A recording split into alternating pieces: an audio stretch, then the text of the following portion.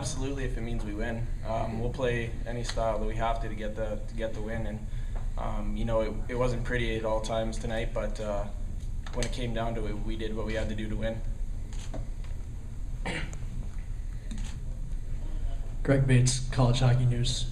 Taylor, um, how's it feel just to accomplish a goal of making to the Frozen Four and it being the first in the program's history? It's pretty special. Um, you know, coming in as a freshman to Ferris State University, um, there's, I guess you could say, memorabilia of that 0203 team uh, hung up in the walls in the dressing room, hung up in the walls in the facility, the ring facility, in the weight room. And to say that we overcame uh, or surpassed what they had done that season is pretty special. Um, and, and we were kind of asked that same question about making it to the regional this year. You know, how does it feel to make it to the regional? It feels great, but at the same time, uh, we answered the question with we, we want to win. And uh, you know, we achieved a goal here tonight. We made the Frozen Four, but we're not look we're not satisfied with just being there. We're going to look for two more wins.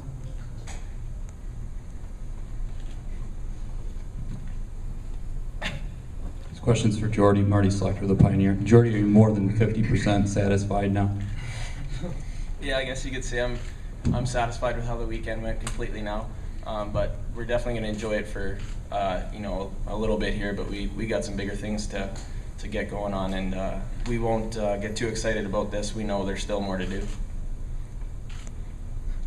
You take me through the game-winning goal and uh, you know what that means to you to you know not only win this game but to have play a part like you have in it. Uh, it was just a great play. I think it was uh, Kaner uh, along the boards, kind of made a nice chip out, and uh, Andy Huff uh, picked up the puck. And I just kind of looked up and realized that there was only one D-man back there, so I just tried to get up the ice as quick as I could. It was kind of near the end of my shift. I was getting a little tired, but uh, Andy, uh, you know, outweighted the D-man, made a beautiful pass to me, and I just, you know, kind of held onto the puck a little bit and then put it in uh, the empty net. So it was, it was a good feeling. Chad Dave Karnowski from uh, USCHO. Can you talk about uh, late in the third period when Cornell starts pushing? Uh, what did you have to do defensively to sort of shut things down? Well, uh, th- they did start pushing a lot towards the end of the game, and, and they were good all night.